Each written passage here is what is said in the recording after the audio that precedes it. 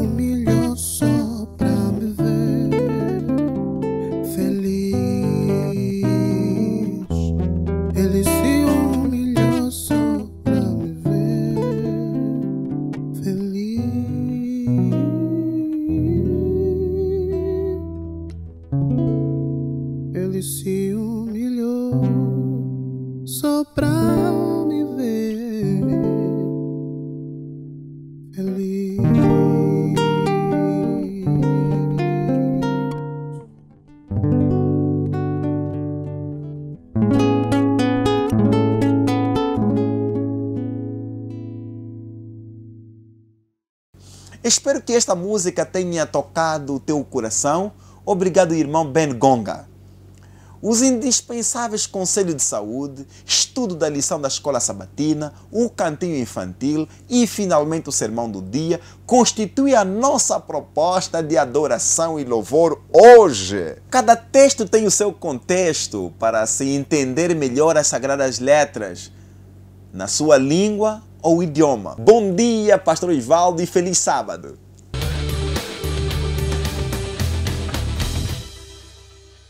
Graça e paz da parte do nosso Senhor Jesus Cristo. É um prazer tê-lo aí do outro lado, para esse espaço da Bíblia, um espaço pensado para você poder se aprofundar no estudo da palavra de Deus. E como sempre, nós precisamos ter aqui pessoas que podem nos facilitar na compreensão da palavra.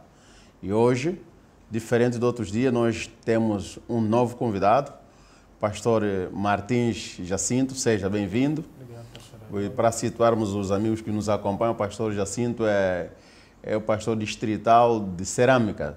O distrito de cerâmica compreende as igrejas de cerâmica, Listra e Monte Moriá, ou, ou, ou Pedreira, né? lá situado na Pedreira. E o, alguém já residente, o pastor Baltazar Angola, seja bem-vindo, é sempre um prazer tê-lo aqui. Obrigado. Obrigado. Então, para começarmos nosso estudo hoje, nós vamos examinar como é que a interpretação de palavras, frase e narrativa das Escrituras, nos seus contextos originais, pode nos ajudar a compreender a mensagem de Deus para os nossos dias. E eu vou pedir ao pastor Martins para nos levar em oração. Maravilhoso Deus que estás nos céus, te louvamos, Senhor, porque a tua misericórdia dura eternamente. Queremos lhe convidar a se fazer presente neste momento de que estamos tendo de estudo da sua palavra. Incha-nos com o poder do Espírito Santo e preencha o vazio que existe em nós. Capacita-nos na compreensão da mesma segundo o teu querer.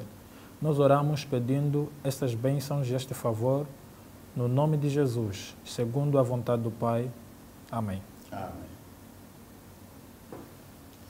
Entre os bilhões de habitantes do planeta Terra, são faladas mais de 6 mil línguas, além dos muitos dialetos que podem ser falados por ali. A Bíblia inteira está traduzida para mais de 600 idiomas. Somente o Novo Testamento ficou traduzido em 3.223 idiomas. Tudo isso para que cerca de 95% da população da Terra pudesse ter acesso à palavra de Deus. Diante desse feito, nós deveríamos nos orgulhar e nos sentir abençoados por terem em mãos a tradução da Bíblia em nossa própria língua, quando um bilhão e meio de pessoas no mundo não têm nenhuma parte das Escrituras em sua língua. Pastor Baltazar, é uma grande bênção constarmos entre aqueles que têm a Bíblia na sua própria língua. Certamente, pastor.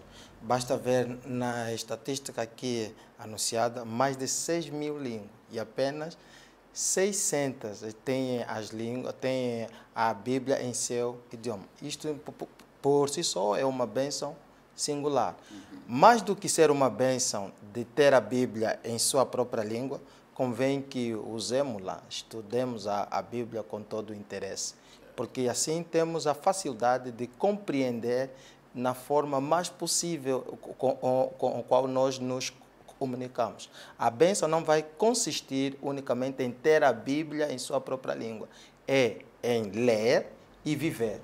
Aí é, vai se consumar e, a bênção. E depois tem muita gente com várias versões em, em suas, seus armários, mas que são só enfeites, né? Lamentavelmente, é, são estéticos. Não adianta se orgulhar com, com a Bíblia na nossa versão, Sim. senão manuseamos. E aí, pastor, pastor Martins, então, como apreciar e buscar pela fé, guardar os seus ensinamentos, como é que podemos tornar isso uma realidade na nossa vida? Entendendo o texto de Josué, capítulo 1, versos 8, eu vou tomar a leitura para situar o, o nosso pessoal.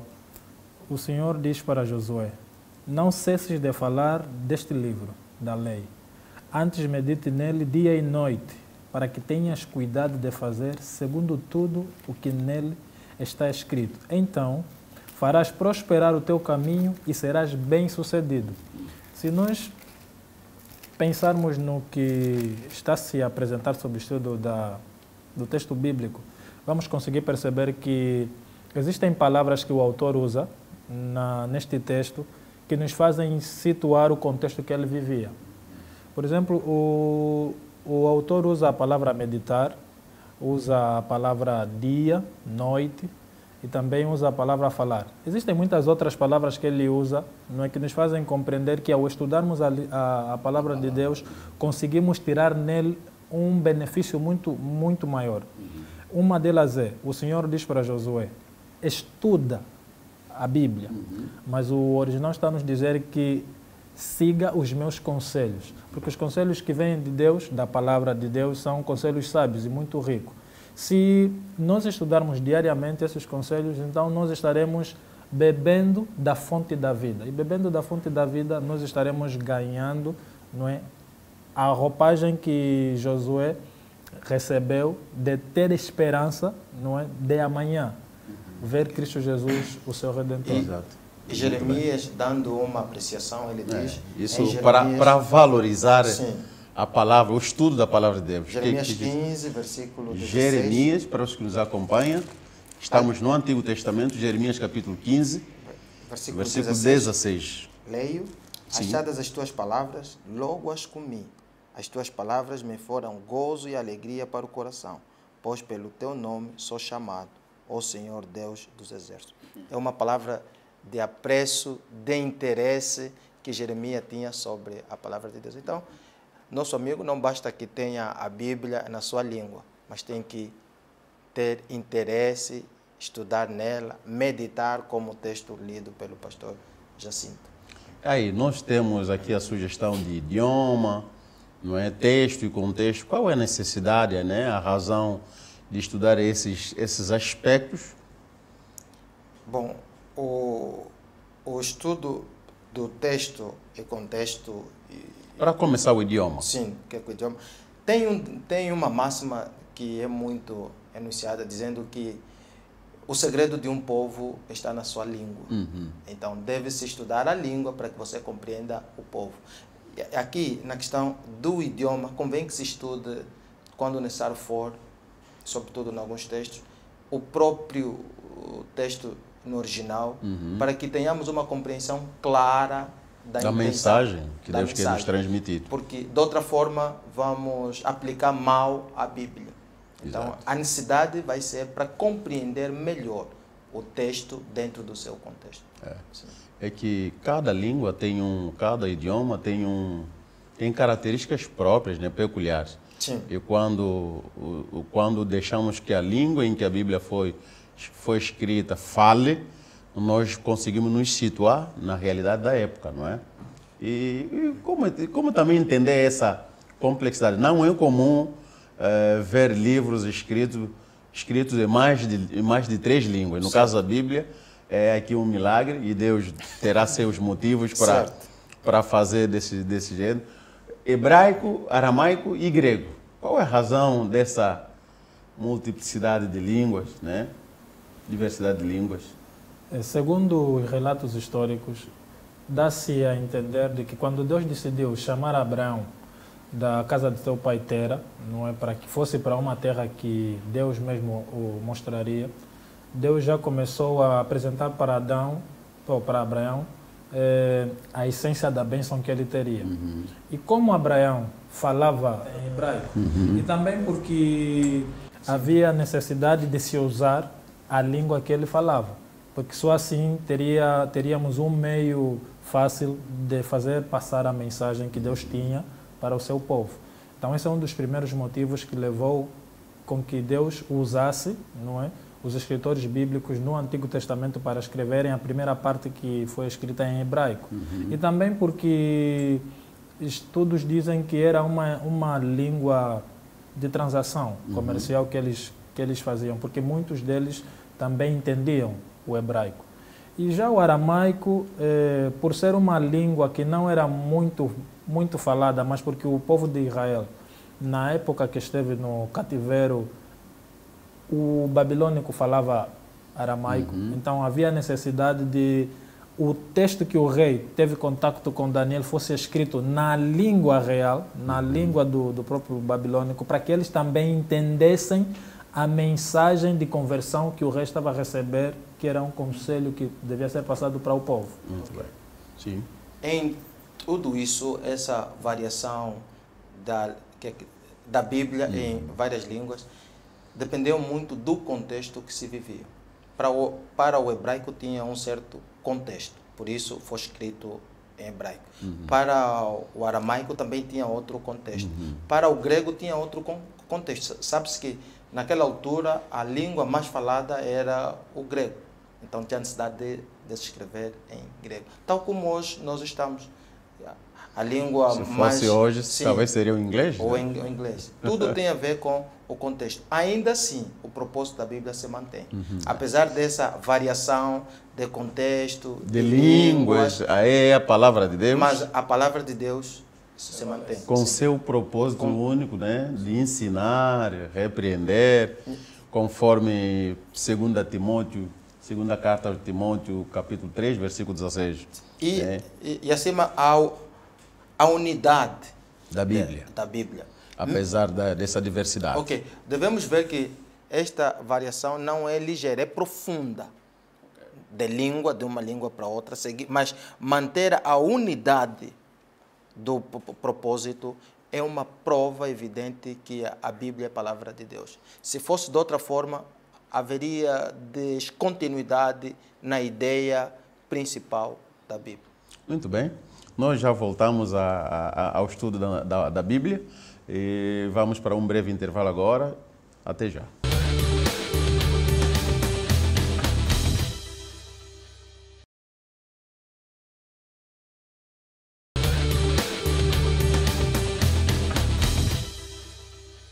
Renovados votos de boas-vindas ao estudo da Bíblia.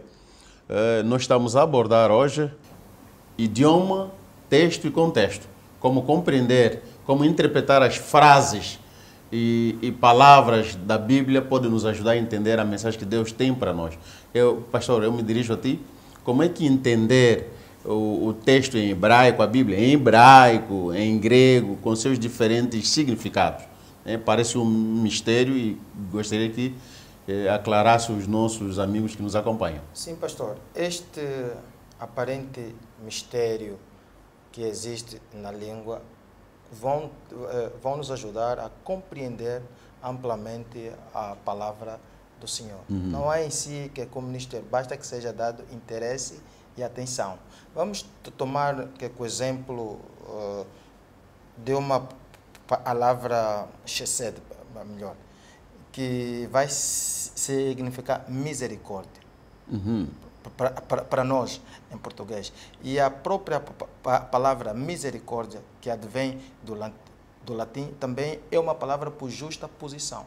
São duas palavras que se juntam e formam uma, que é miser, que vai equivaler miséria, e cordia, que vai significar Coração. coração. O resumo vai ser a palavra ser um amor profundo de Deus para com a humanidade. É um pacote. Sim, é um pacote. Então, Todo amor de Deus. ok. Parece que é, é delicado, mas quando damos atenção, vamos ao fundo, entendemos a beleza e de forma compreensiva, ampliada, a palavra de Deus. Um outro exemplo também é o shalom. Shalom. Mas outros ainda eh, dizem shalom, paz. Bom, não se restringe somente em paz, é muito além Da do paz. da paz. Então, É é, é desta forma que se pode começar a compreender estes aparentes mistérios que a, a palavra É muito, é muito interessante, porque no português, quando são pronunciadas essas palavras, não dá esse poder, essa força, né? Mas quando vamos no original, quando buscamos no original, nós somos atendidos, nossas necessidades são atendidas de forma completa. Ok. Imagina, misericórdia, todo o amor de Deus. Sim. Então, quando me é desejado misericórdia, eu tenho um pacote completo. Assim como um paz, né? Shalom. Shalom. Eu tenho completo bem-estar. É como tivesse a me dizer toda a saúde. Eu não sei se o pastor também tem alguma um, um acréscimo a respeito Ligando, desses termos. ligando a ideia ao pensamento dos pastores, eh, a palavra shalom para o hebreu, uma delas no princípio significava saudação ou uma despedida. Olá, tudo bem? Adeus. Mas em outros textos da Bíblia, quando os outros autores foram também escrevendo os seus, os seus textos, dá-nos a entender de que Shalom não significava, significava simplesmente aquilo que os outros autores já se referiam, mas eles ampliaram mais eh, o texto. Por exemplo, uma das palavras que aparece para dar eh, robustez à palavra Shalom é bem-estar. A palavra bem-estar. A palavra bem-estar, quem usa muito na Bíblia também foi Davi para dar satisfação não é, ao povo daquilo que Deus fazia em, sua, em suas vidas. E ele usa muito o texto de Salmos 136, onde a palavra misericórdia aparece repetida várias vezes. Então, por isso é que a palavra shalom, ao estudarmos a Bíblia, não devemos simplesmente nos limitar no texto que queremos compreender a mesma palavra, mas precisamos também buscar outros, outros significados para saber situar o texto que estamos a apresentar. Muito bem. E esses não eram os outros recursos.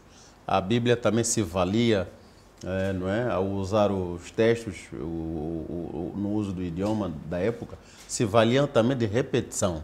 Repetição. E vocês podiam falar um pouquinho sobre essa, essa, esse recurso.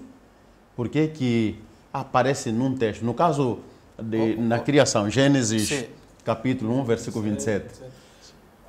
Eh, primeiro é que quando uma mensagem era repetida, Uhum. dá-nos a entender que era emergente. Mas para se Quando usar se usa a palavra, Antes que fale o, o- o- diretamente de emergência, ok? o- qual é a necessidade? Havia falta de algum recurso para se usar repetição? O hebraico era uma língua morta e ela não era, as palavras não eram acentuadas. Então, surge, Ou seja, não haviam pontuações. Sim, não há Ok. pontuações. Havia necessidade de repetir certas palavras para determinar não é, a onipotência de, de Deus. Dar ênfase a Pois. alguma ideia. Ênfase da, da, da ideia que Deus queria também transmitir, transmitir a eles. E uma da, das razões também é a importância de que Deus, ao transmitir e o autor, ao repetir certas palavras, enfatizava a autoridade de Deus ao criar coisas, muitas delas do nada. Por- Yeah, por é mais que do que falar, nós podíamos ir ao texto, né? Sim, sim. Ao, que ao usa- texto, O texto de capítulo Gênesis 1, Gênesis. verso 27. ok? Criou Deus, pôs o homem à sua imagem. A imagem de Deus o criou. Ok. Homem e mulher os criou. Ok. É. Ah, bom, pa- pa- pastor, ahm, eles tinham formas próprias para o autor determinar a intenção que tinha com o texto. Hoje nós temos uma série de normativos que vão regulamentar como devemos escrever, a fim de expressarmos bem no texto o que é que queremos que seja entendido. A E- repetição era um padrão. e para eles era um padrão repetir mais vezes esta mesma palavra. No texto lido, nós estamos a encontrar aí a, a palavra criou. Uhum. Um, vamos abrir aspas aqui, que é com um pouquinho, para esta pa- pa- pa- pa- palavra, que no original é bara. E ela só se aplica unicamente à ação de Deus, não se aplica ao homem. Daí Se a você- importância de ir para o, o, o original, né? Ok.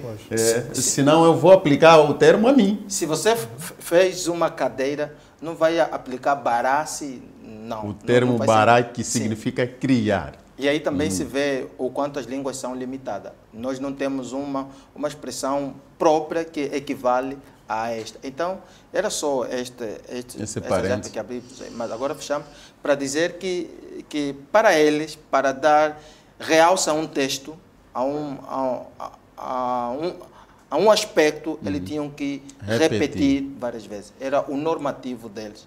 E já que falou disso, isso me dá a entender que eh, a forma como a Bíblia foi escrita, né, in- e- interpretar a forma como foi escrita, pode influenciar no estudo e compreensão da, da própria palavra. Sim, muito. sim. Sim. Por exemplo, o- a- anexando o pensamento à ideia do pastor eh, Baltazar, um dos motivos que leva Moisés a repetir a palavra barat, não é? Porque criar do nada ou fazer do nada, é enfatizar a ideia criadora de Deus como sendo o único ser que tem poder e autoridade de fazer coisas sem usar uma outra matéria para para fazer. Então, esse, é- esse é um motivo que nos leva não é, a ter muito cuidado em fazer a avaliação e análise dos textos, palavra por palavra, para não se cometer erro na aplicação contextual do texto que É, eu gostaria, já que tocou no contexto, como podemos abordar, como podemos ir ao texto bíblico, eh, tendo em conta o seu contexto, não é?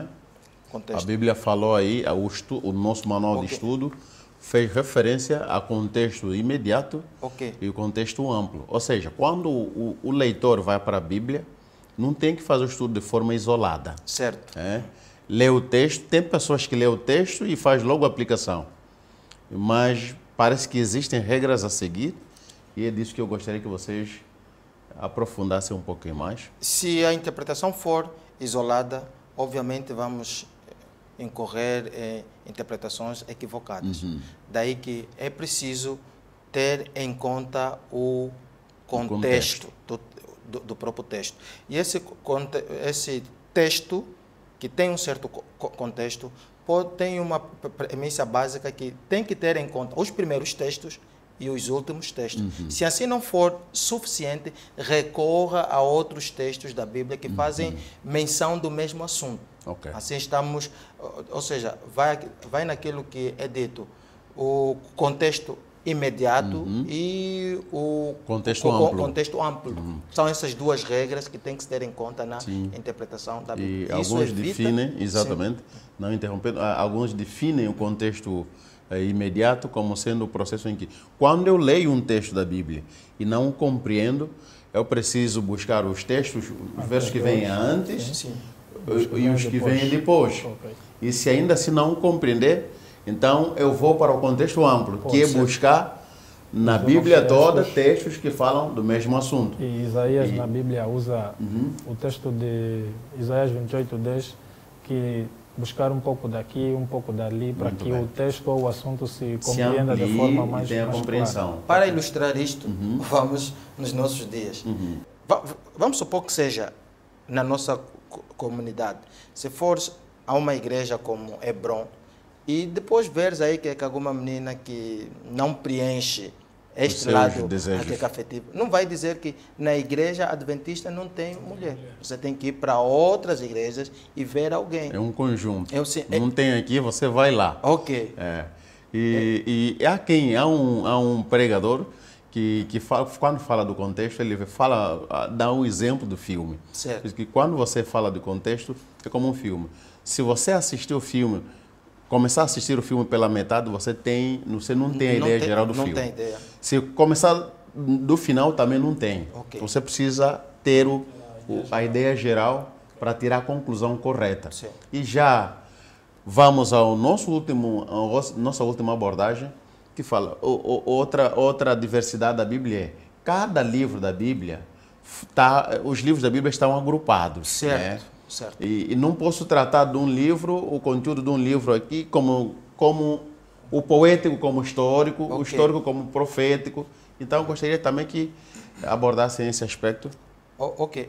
A, a Bíblia ah, tem essa estratificação, essas classes de texto, essas unidades. Tem partes que ela é totalmente histórica. Tem partes que ela é totalmente pro- profética. E tem partes que ela é parábolas. Então a pessoa tem que ter em conta para que a interpretação também não seja transviada.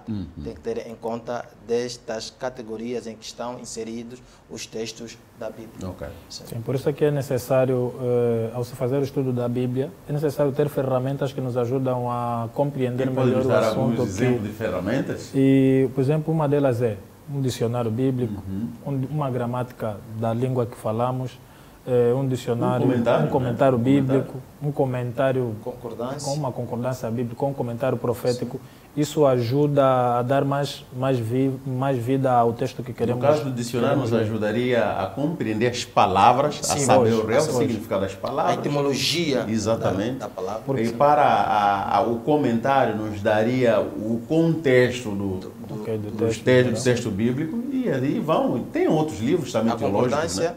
a concordância nos levaria a discorrer vários textos da Bíblia que abordam o mesmo assunto. Relacionar Sim, os textos. relacionar os textos. Muito bem.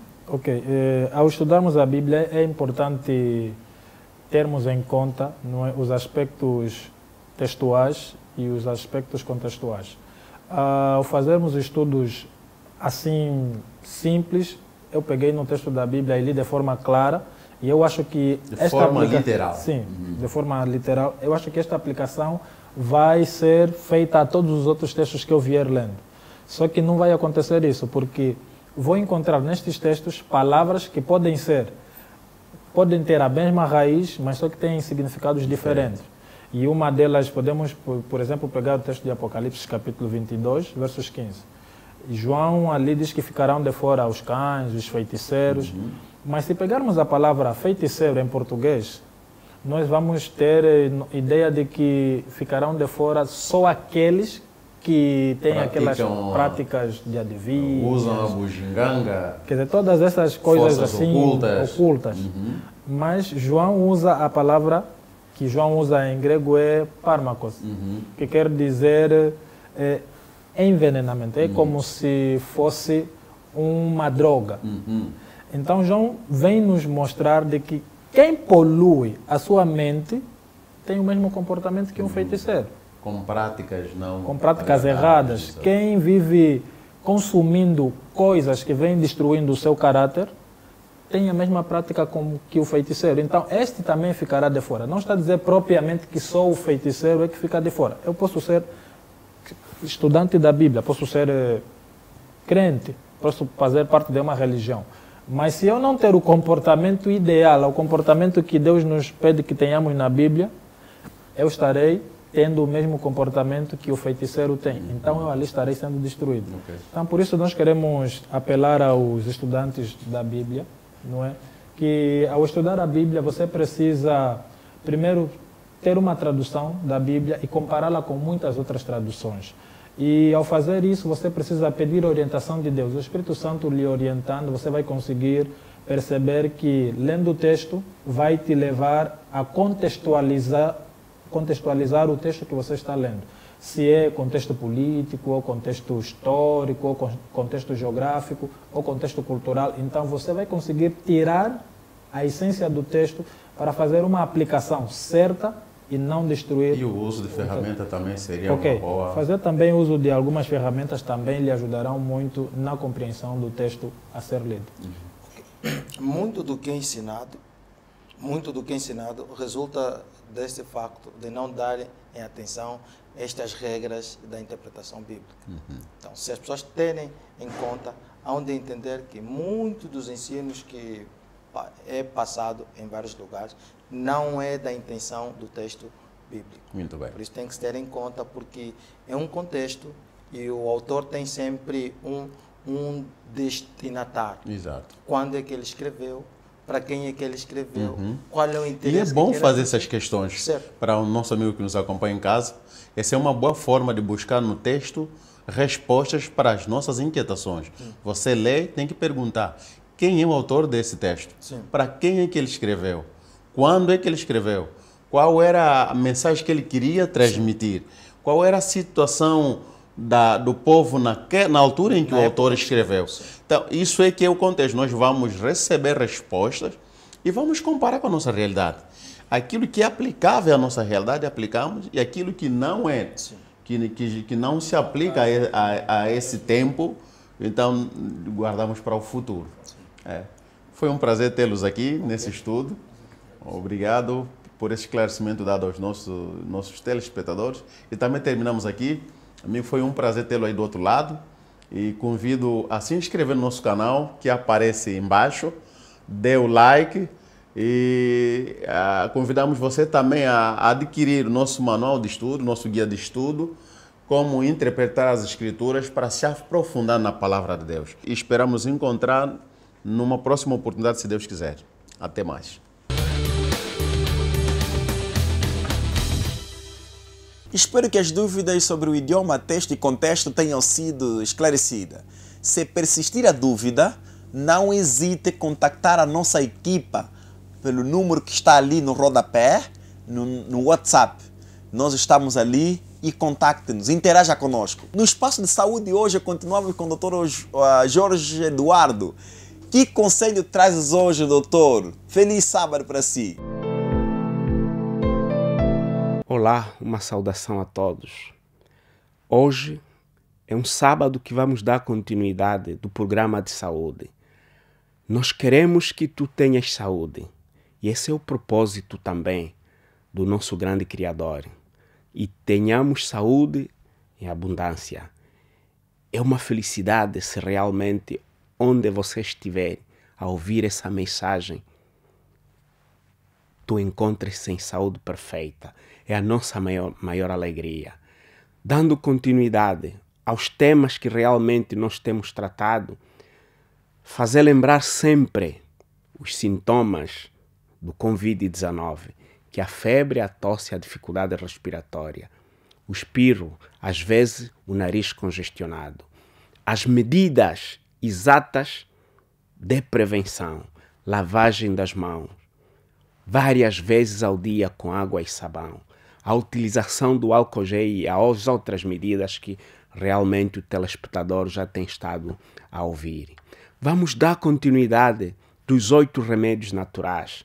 Ontem falamos do repouso, falamos da ingestão d'água, falamos da alimentação saudável. Vamos, vamos falar do ar puro. Eu sei que estás confinado em casa. Fica em casa, porque estamos em quarentena. Mas isso não significa que tu não possas aproveitar o pequeno ar que o nosso ambiente nos ofereça. Queridos, amigos, telespectadores, se a sua casa tiver, tiver um quintal, tu podes sair, apanhar os primeiros raios solares, é outro remédio natural, e simultaneamente respirar um ar puro. Se estás num edifício, primeiro, segundo, terceiro andar, podes abrir um minutinho a sua janela. É extremamente fundamental. Se entenderes colocar uma máscara no momento em que estiveres a respirar o ar puro e apanhar os primeiros raios solares, também é extremamente importante. Associemos as, as, as medidas do Ministério de Saúde com os remédios naturais. Quando não estamos perante uma radiação, a radiação leve elimina algumas bactérias da nossa pele. Provavelmente estamos dentro de casa durante muito tempo. Se pudermos sair no quintal, para indivíduos que têm casa com quintal, pode sair por um minutinho, apanha os primeiros raios se calhar vai fazer bem para a tua saúde. Queridos amigos telespectadores, são muitos remédios naturais. Outro importantíssimo é o exercício físico. Pelo facto de estarmos estático em casa, sem movimento, mesmo dentro de casa, você pode fazer exercício. Quando tu estás a fazer exercícios, você queima as gorduras e quando queimas as, as gorduras, o sangue flui com maior velocidade e chega às regiões que provavelmente teria, teria dificuldade de chegar. Nós temos uma situação dentro do nosso organismo. As gorduras que nós consumimos, elas depois são captadas pela corrente sanguínea e podem criar trombos e entupir alguns vasos pequenos o exercício físico é extremamente fundamental para queimar essas gorduras e para facilitar a fluidez sanguínea, para que no futuro não possamos ser indivíduos com hipertensão arterial. E tendo hipertensão arterial, poderá eventualmente trazer outras complicações que não queremos que o telespectador que está ouvindo essa mensagem seja cometido por qualquer uma enfermidade. Estás em casa, faça exercício com a tua família. É o momento de proporcionar a grande bênção celestial para a tua família. É momento de você dar um abraço aos teus filhos, dar um aperto à sua mulher, seu filho que nunca tiver. Você sai de manhã, chega à noite, encontras os filhos dormindo. Este período de quarentena, de uma maneira geral, deve ser aproveitada para a unificação familiar. Contar histórias construtivas, quando nós contamos uma história belíssima, o nosso filho concentra-se e as células dos neurônios ficam mais habilitadas e terá sucesso quando voltar à escola. É isto que nós queremos: alimentar-se com esperança, alimentar-se com células vivas, as nossas células vivas, para que os axônios, que são as células do sistema nervoso central, devem estar preparadas para que, quando começar as aulas, os nossos filhos vão devidamente preparados. Se não aproveitarmos este período de quarentena para corrigir tudo que está mal, nós vamos ver provavelmente os nossos filhos ainda desviados. É isto que nós não queremos. Tem outro remédio natural, que é temperança. Tudo deve ser de acordo com a temperança. Mas tudo, alimentação com temperança, assistir televisão com temperança e falar dos aspectos importantes que realmente os nossos filhos devem assistir, não aquilo que desvia o comportamento dele. Isto é que nós queremos. A temperança em todos os aspectos, a maneira de vestir, a maneira de andar, a maneira de brincar com os outros amigos. Devemos ensinar tudo na margem da temperança. Por último, a confiança em Deus. Ensinemos os nossos filhos para ter confiança em Deus. Deus é o nosso protetor em todos os aspectos. É imprescindível. Ensinar a orar. As crianças que não oram devem aprender neste momento para que todos nós aproveitamos vivamente aquilo que realmente queremos transmitir aos filhos. Um abraço a todos que ouviram essa mensagem. Muito obrigado. Este é o programa Trilho de Esperança, produzido pelo Departamento de Comunicação da União Nordeste de Angola, dos Adventistas do Sétimo Dia. Compartilhe nossos endereços no YouTube, Adventistas Angola, e no Facebook, União Nordeste de Angola, dos Adventistas. Fique ligado, tá? Dê o seu like também. Inscreva-se no nosso canal do YouTube e ative as notificações para receber todo o nosso conteúdo. Vamos ao cantinho infantil agora, criançada em casa, para ouvir as novidades que a tia Judes traz para, no... para vocês ali em casa. Bom dia, bom dia, irmã Judes. Feliz sábado aí no cantinho infantil. Bom dia, crianças. Feliz sábado. Que bom. Hoje é um dia especial, é um dia da alegria. E lá em casa tá tudo bem? Ai, que bom. Hoje, como sabem, temos uma história muito interessante também, que vocês já sabem. Mais uma vez, nós vamos ter uma história que nos encontramos naquele livro que você também já sabe, que é a Bíblia. A Bíblia é a palavra de Deus. Nós nela encontramos muitas lindas e ricas histórias. E para você, menino, menina que está em casa e já está na sala, chama o papá, chama a mamã, chama o mano e a mana, porque chegou o momento da história infantil. Mas antes, eu queria chamar vocês para fazermos uma breve oração. Oremos? Papai do céu, muito obrigado pela vida, pela saúde, obrigado por mais um sábado Abençoa o papá, a mamã, o mano e dê-nos um sábado feliz no nome de Jesus. Amém. Hoje vou contar para vocês a história de uma mulher de nome Ana. Ana era uma mulher que os seus povos chamava-se Elcana. Ela todos os anos subia para o morro para visitar o templo porque ela queria fazer alguma coisa, tinha um propósito. Ela andava muito, muito triste. Sabem por quê? Porque ela não conseguia fazer filhos.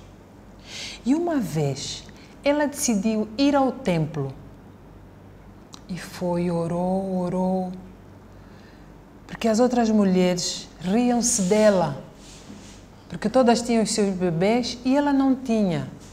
Mas uma vez ela foi e fez essa oração fervorosa pedindo a Deus que lhe desse filhos.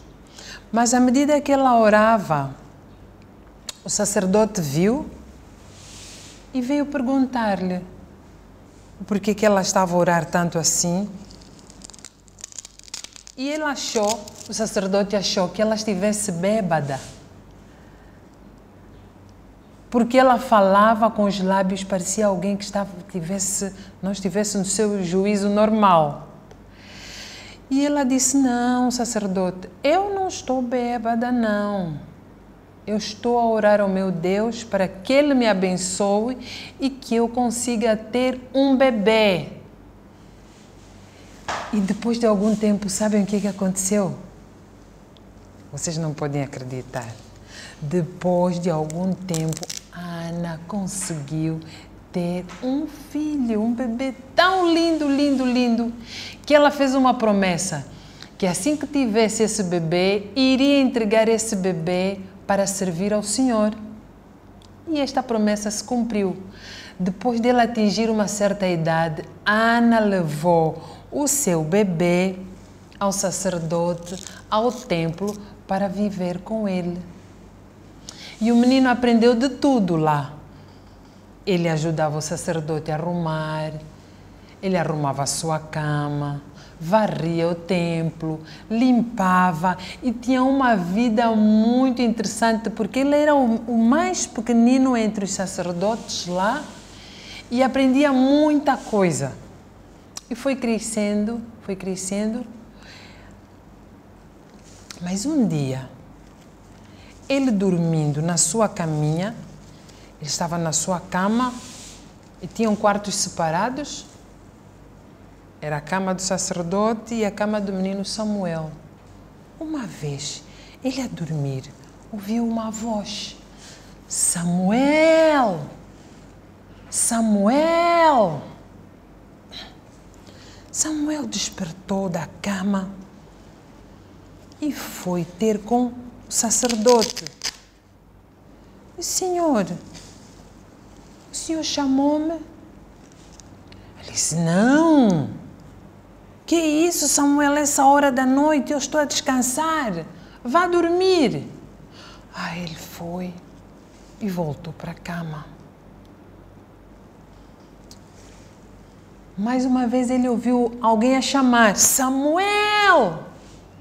Samuel, ele estava no sono profundo, despertou.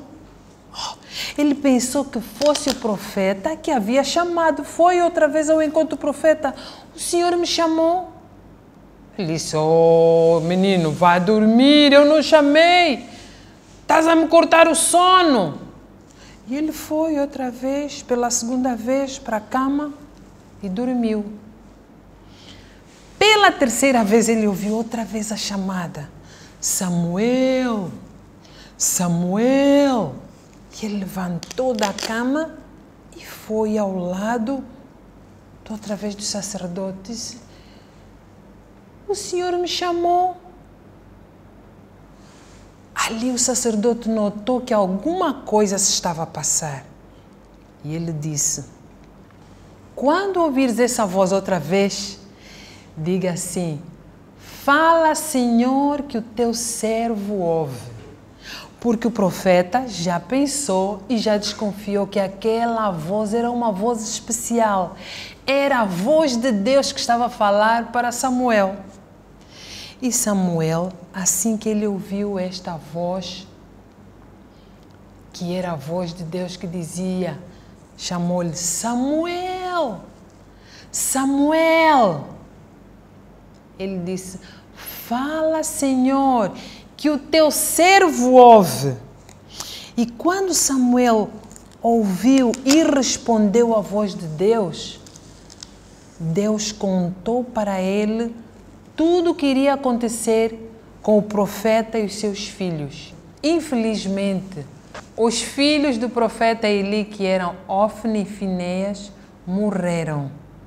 E o profeta também, de desgosto de ouvir da morte dos seus filhos, também morreu. E, no entanto, Samuel, depois de crescido, tornou-se o grande profeta daquela época e conseguiu conduzir o povo para um outro rumo da história. Crianças, nós devemos saber ouvir a voz de Deus. A voz de Deus é muito especial. Quando Ele fala para nós de diferentes maneiras, devemos saber distinguir quando é a voz verdadeira de Deus. Por isso Ele fala várias vezes no nosso coração. O coração pequenino de criança ouve também quando Deus fala para vocês. Que Deus nos possa abençoar e que consigamos ser crianças obedientes a ouvir a voz de Deus e a voz dos nossos pais também. Quero deixar as recomendações. Crianças, cuidem-se, lavem sempre as mãos com água e sabão, usem o álcool gel e lembrem-se de obedecer os pais em casa, ajudem nas tarefas domésticas e até o próximo sábado. Tchau! Criança, símbolo do reino dos céus, obrigado pela história bíblica. Que Deus lhe abençoe. Preparemos-nos agora para o sermão de hoje. O orador é o pastor Prazer João. Prepare o teu coração para este momento de adoração. Silêncio.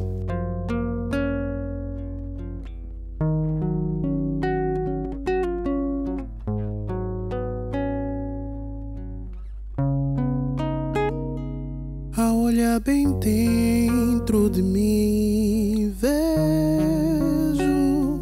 que não tenho como eu me salvar. Mas olhando lá pra cima, onde meu socorro vem, não vejo como eu me perder. Pois o teu amor me alcança mesmo sem merecer e me dá esperança de um novo amanhecer.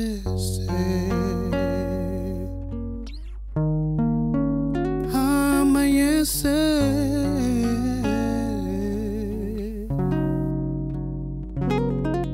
Jesus, tua graça é maior do que o mundo possa vir oferecer. Quero recomeçar. E os meus caminhos, Pai, quero refazer.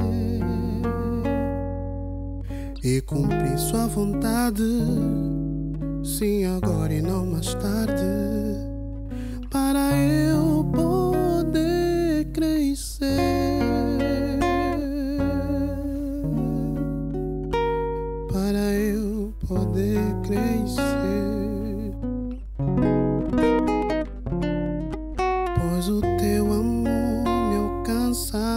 Mesmo sem merecer e me dá esperança de um novo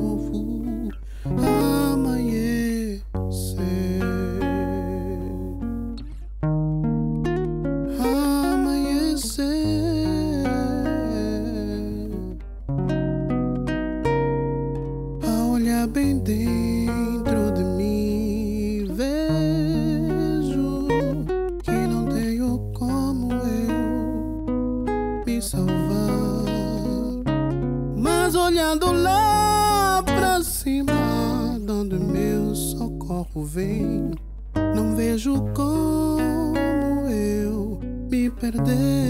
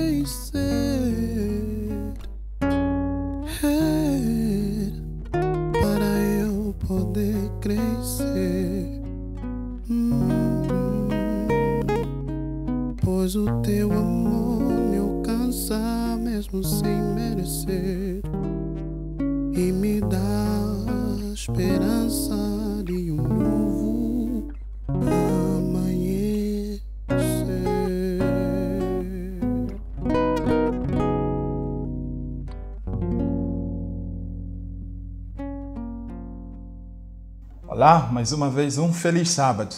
Que maravilhoso poder voltar a reencontrá-lo e mais uma vez partilhar com você o pão da salvação. Nós estamos gratos pela oportunidade que Deus nos concede e oxalá que você esteja gozando um sábado na companhia dos santos anjos de Deus e na presença do nosso amado Salvador Jesus Cristo. Antes de nós começarmos, como sempre, eu vou convidá-lo para inclinar o seu rosto e podermos orar. Oremos ao Senhor. Querido Pai dos céus, nós estamos gratos por nos concederes novamente essa oportunidade de estarmos aqui e podermos partilhar a mensagem da salvação com um querido amigo.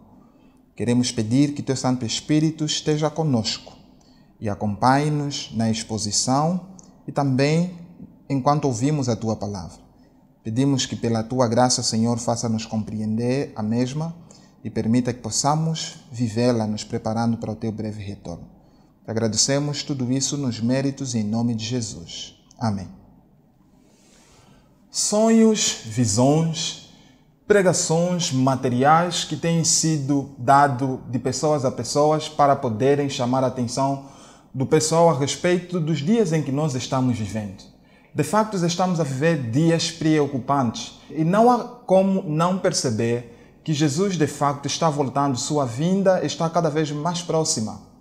Mesmo que não estivéssemos vivendo na época da Covid-19, cada dia que se passa é mais um dia que nos coloca mais próximo da vinda de Jesus Cristo. No entanto, é admirador ver como muitas pessoas têm aparecido pelo mundo afora, dizendo que têm recebido visões e mensagens especiais de Deus. Mas o que mais me deixa assustado no meio de tudo isso é ver como pessoas que dizem ser cristãos serem retirados a sua atenção de Deus para coisas que muitas das vezes seus fundamentos não são sólidos e não são baseados na palavra de Deus. Jesus Cristo mesmo chamou a nossa atenção de que ao nos aproximarmos da vinda de Cristo, mais e mais surgiriam falsos profetas tentando enganar as pessoas. Por favor, não me compreenda mal. Não é que Deus não pode falar para pessoas hoje através de sonhos e visões. Porque a Bíblia diz que nos últimos dias seus filhos sonharão, terão visões. No entanto, nós devemos ter o cuidado de não sermos enganados, porque muitas das vezes qualquer mensagem parece ser de facto mensagem dada por Deus. Confusão é o que cria coisas como essas e muitas pessoas acabam ficando alarmadas. Um dia desses, Jesus, enquanto saía do templo com seus discípulos, foi abordado pelos mesmos e ele foi chamado para olhar para o belíssimo templo. O templo de Israel era, na verdade, uma obra-prima. Era talvez um símbolo nacional, era o orgulho nacional dos judeus naquela época. No entanto, os, os discípulos ficaram admirados ao perceber que Jesus Cristo, ao olhar para o templo, faz uma declaração alarmante. E eu gostaria então de chamar a tua atenção para poder abrir a Bíblia comigo até o livro de Mateus 24, versos 3, onde nós percebemos Jesus falando com os seus discípulos. Depois de Jesus ter feito a predição de que esse templo seria destruído, não ficaria pedra alguma de lembrança do templo, Jesus foi abordado pelos seus discípulos. E é isso que diz a palavra de Deus nos versos 3. No Monte das Oliveiras achava-se Jesus assentado quando se aproximaram dele os discípulos em particular e lhe pediram: Dize-nos, quando sucederão estas coisas e que sinal haverá da tua vinda e da consumação do século? Note que os discípulos perceberam que se o templo será destruído, obviamente que essa destruição tem alguma coisa a ver com a vinda de Jesus Cristo e, consequentemente, com o restabelecimento do reino a Israel. No entanto, na medida em que iam subindo para o monte, Jesus foi abordado por Pedro, Tiago e João, porque eles queriam saber um pouquinho mais. Na verdade, existe uma palavra que eu queria que você prestasse atenção. Os versos 3 diz assim, a segunda parte, quando se aproximaram dele os discípulos em particular.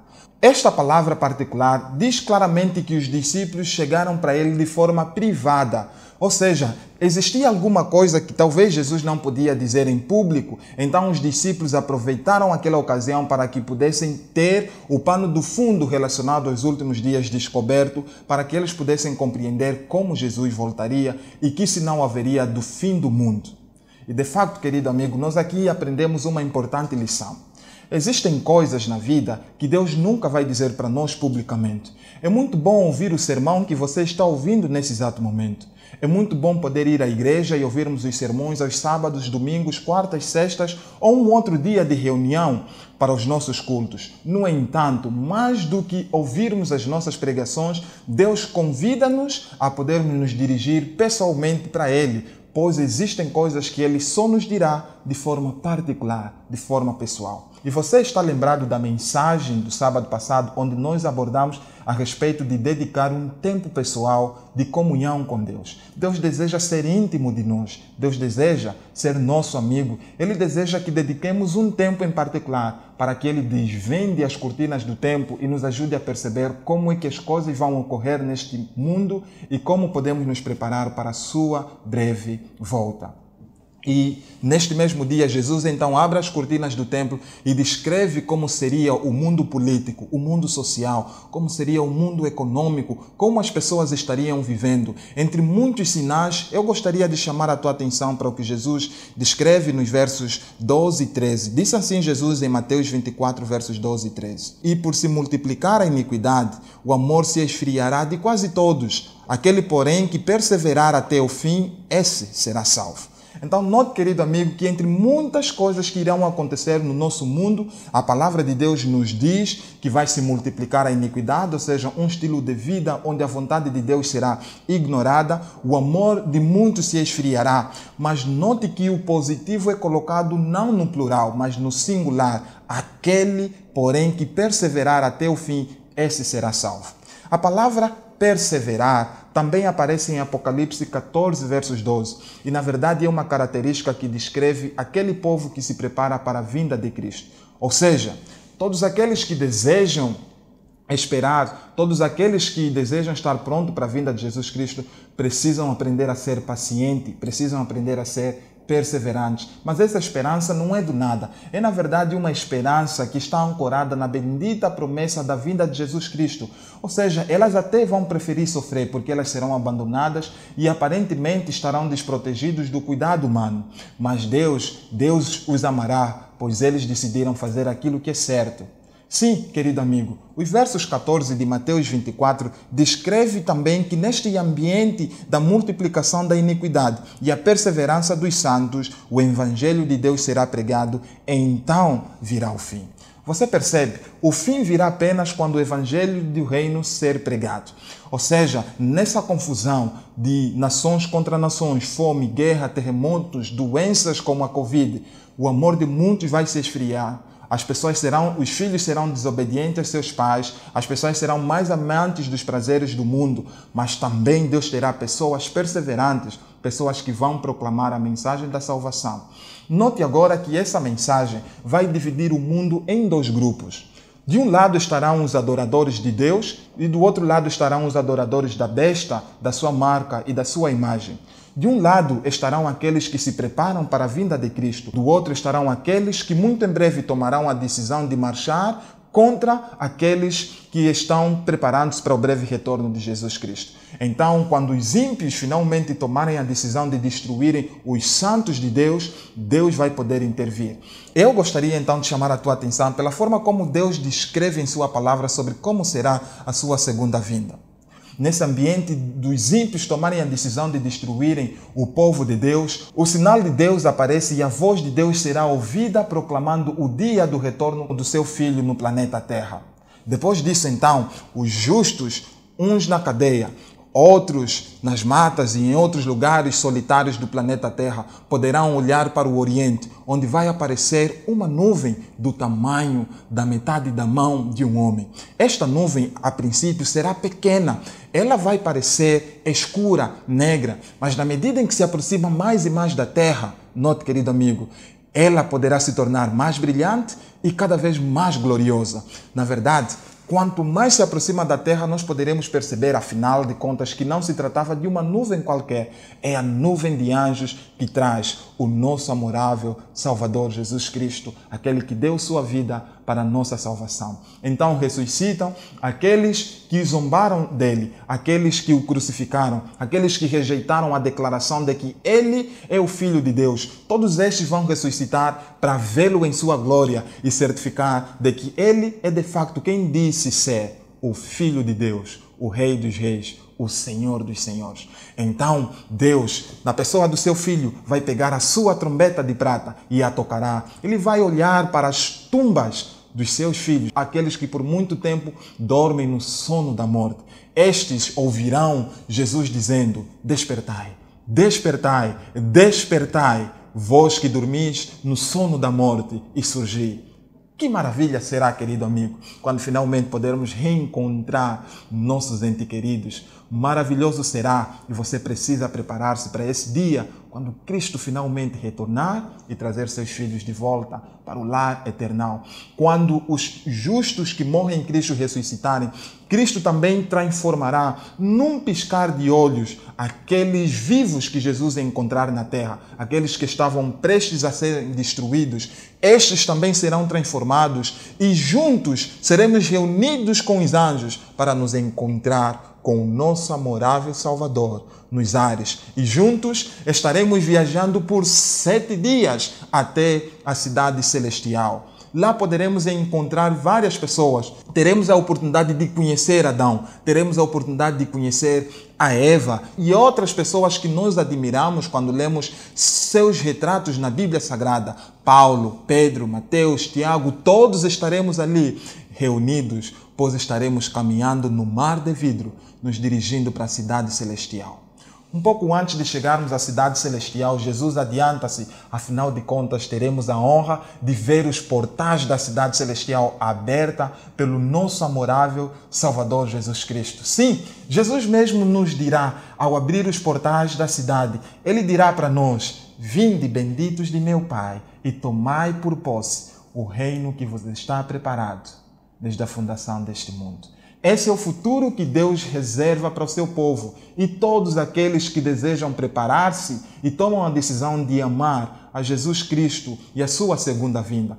Oh, querido amigo, existe um futuro que você precisa preparar-se. Afinal de contas, por muito tempo, Deus tem ansiado por aquele momento quando finalmente todos nós teremos a oportunidade de estarmos sentados numa única mesa e teremos o privilégio de ouvirmos dos lábios do nosso amorável Senhor Jesus Cristo: Valeu, filha, valeu, filho, foi muito bom ter morrido por você.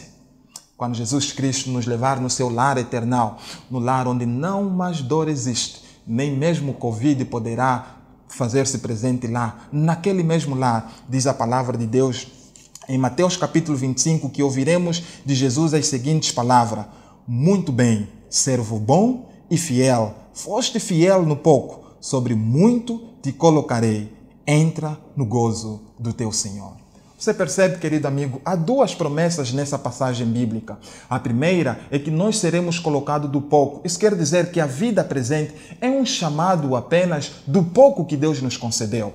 No entanto, o desafio é que esta vida, este pouco da vida presente, é uma preparação para o muito que Deus deseja nos colocar.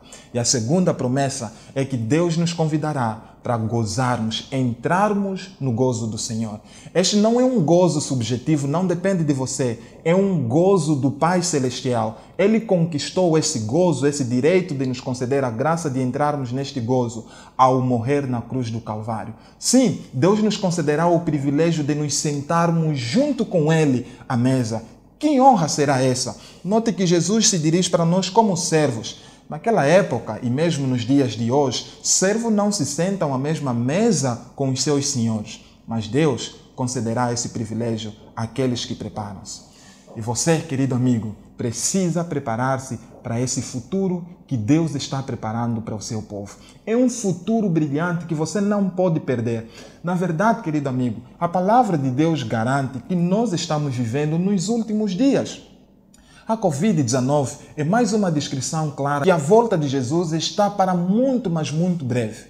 E de facto, quando nós vemos essas coisas, disse Jesus, e aqui eu gostaria de abrir a Bíblia para ler com você o último texto bíblico para esta manhã, em Lucas capítulo 21, verso 28. Jesus Cristo disse que ao olharmos para a ocorrência dessas coisas, deveríamos fazer algo. O que é que Jesus disse? Leia comigo Lucas capítulo 21, versos 28. Ora, ao começarem estas coisas a suceder, exultai e erguei a vossa cabeça, porque a vossa redenção se aproxima. Que maravilhoso, querido amigo. Afinal de contas, a Covid-19, os terremotos, as dificuldades, nações contra nações e os outros sinais que acontecem por aí não são motivos para nós vivermos atormentados, sem esperança, com angústia e aflitos. Jesus nos diz que quando essas coisas estiverem a acontecer, nós devemos levantar as nossas cabeças, olharmos para o alto e exultar, porque a nossa redenção está para breve. E você precisa preparar-se, porque de fato Jesus está voltando. Deixe-me terminar contando para você uma experiência. Há muito tempo, um navio estava se dirigindo para a Escócia. E devido à neblina que se fazia naquela época, por ser muito forte, o navio esteve perdido por três dias. E como a neblina de facto era muito forte, eles estavam girando de um lado para o outro porque eles não conseguiam encontrar a direção correta. No entanto, eles perceberam este navio estava trazendo ovelhas. E ao tentar alimentar essas ovelhas com o capim que já estava seco depois de três dias, eles perceberam que as ovelhas estavam rejeitando de comer aquele capim seco. E não somente isso, eles perceberam também que as ovelhas estavam balindo, mas não conseguiam compreender por que as ovelhas estavam rejeitando comer capim seco quando elas estavam balindo, pois balir é o ato das ovelhas demonstrarem o desejo de poderem alimentar-se. Então, três dias depois, assim que a neblina dissipou-se, eles perceberam então que estavam junto à costa marítima da Escócia. E além disso, eles perceberam que a costa escocesa estava ela toda composta de capim fresco e verdinho. Então eles puderam perceber que a razão por que aquelas ovelhas estavam rejeitando comer capim fresco é porque elas estavam próximas de um lugar onde o capim não era seco, era fresco e verde. Você percebe a mensagem que Deus tem para você? Meu querido amigo, Disse Jesus que ao olharmos para a ocorrência dessas coisas, podemos estar certos de que de facto o seu reino está para breve. E quando sentimos o cheiro da aproximação de um lugar melhor, que esta terra que somente nos pode oferecer capim seco, nós certamente iremos também balir, mas rejeitar o capim seco que essa terra nos pode oferecer. Há um lugar melhor que Deus deseja que você alcance nesta terra, o capim não é apenas fresco, o capim não é apenas verde, mas as ruas são de ouro. Não haverá mais malária, não mais haverá paludismo, não mais haverá trabalhar para comer. Afinal de contas, Deus, as suas vastas riquezas, com os santos irá repartir. Oh, meu amigo, um futuro glorioso está aguardando por você. E de facto, ao sentirmos o cheiro da aproximação desta terra, o nosso maior desejo é nos preparar para podermos habitar na presença e na companhia do nosso bom Deus nessa terra sem igual. Passados mil anos, desceremos aqui nesta terra e poderemos com os nossos olhos ver, contemplar Deus com o poder da Sua palavra, tornar a nossa terra linda e um lugar maravilhoso de se habitar, tal como Ele havia preparado a terra no princípio. Esse é o lugar que Deus está preparando para você. E Jesus disse que Ele foi para os seus preparar-nos um lugar. E não deveria o nosso coração se turbar não deveríamos viver turbulentos. Crendo em Deus, deveríamos também crer em Jesus, o nosso Salvador. E oxalá que pela graça de Deus você esteja se preparando para esse futuro glorioso que Deus tem para você e para mim. Vamos orar a Jesus. Querido Pai dos céus, que maravilha e que bendita promessa nós temos em Cristo Jesus. Nós exultamos, nosso coração pula de alegria só ao saber que muito em breve toda dor, mágoa, angústia e sofrimento vai findar. Nós não compreendemos muita coisa neste nosso mundo, mas estamos certos de que o futuro deste planeta não está nas mãos de pessoa alguma, mas repousa nas mãos do Criador dos céus e da terra, o nosso amorável Salvador Jesus Cristo. Oramos para que tão somente pela graça de Deus ajude-nos, Senhor, a nos preparar para esse dia em que veremos os céus abertos e veremos Jesus Cristo se manifestando nas nuvens dos céus e nos preparar para o seu reino. Hoje percebemos que o nosso lar não é nesta terra. Podemos até ter tudo, mas nada se compara com a alegria eterna que nós teremos lá no céu. Por isso te rogamos que perdoe nossos pecados, Senhor, e ajude-nos a colaborar com o teu Santo Espírito e nos preparar para a breve volta do nosso Senhor Jesus. Abençoe o querido amigo, abençoe a equipe da União, abençoe este programa, abençoe tua igreja, abençoe todos nós, conforme segundo a tua graça. Em nome de Jesus. Amém. Nós gostaríamos de desejar para você um resto de sábado maravilhoso e viva na esperança do breve retorno do nosso Senhor Jesus.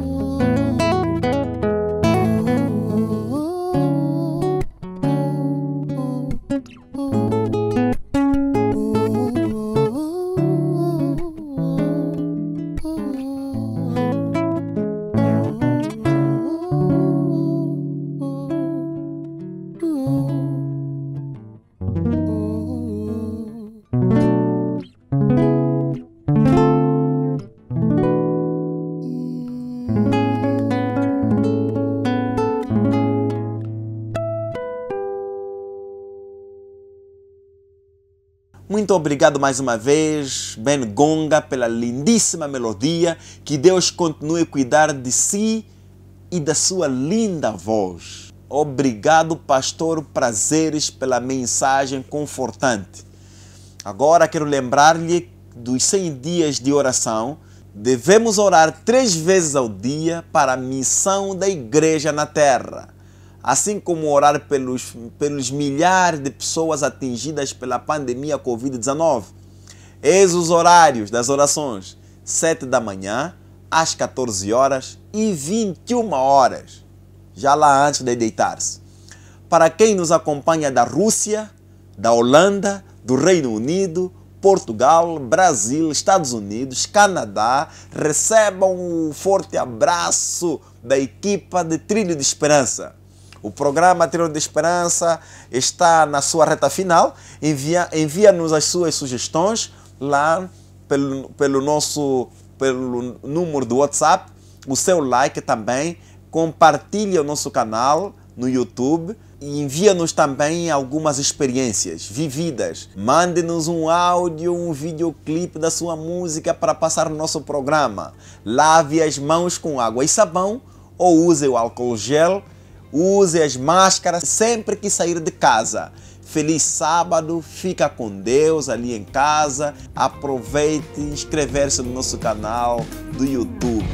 Agora mesmo, clique no sino das notificações. Até o próximo sábado, se Deus quiser. Bom dia, bom dia. Continuação de feliz sábado. Que o Senhor vos proteja e proteja-se da Covid-19.